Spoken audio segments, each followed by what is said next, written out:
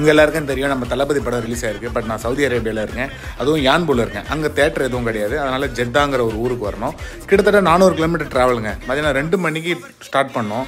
Night ஒம்போதரை மணி படத்துக்கு. கிட்டத்தட்ட ஒரு ஏழு மணிக்கு போய் ரீச் ஆனோம். போகிற வழியில் ஐஸ்கிரீம் சாப்பிட்டோம். அதுக்கப்புறம் ஆரியாஸில் டிஃபன் சாப்பிட்டோம். இதெல்லாம் ஆப்வியஸுங்க இதெல்லாம் அவன் அவன் அங்கங்கே சாப்பிட்றதுன்னு.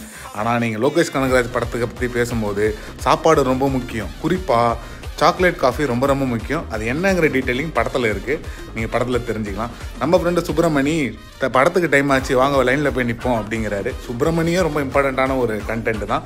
சரின்னு நம்ம ஆளை வந்து தேட்டர் உள்ளே போகும்போது எல்லாத்தையும் வெரிஃபை பண்ணி அனுப்புகிறாரு நாங்களும் தளபதி படத்தை பார்க்க போகிறோம் கிட்டத்தட்ட நான் லாஸ்ட் டுவெண்ட்டி இயர்ஸ் தான் தளபதி படத்தை ஃபஸ்ட் டே பார்த்துக்கிட்டு இருக்கேன்.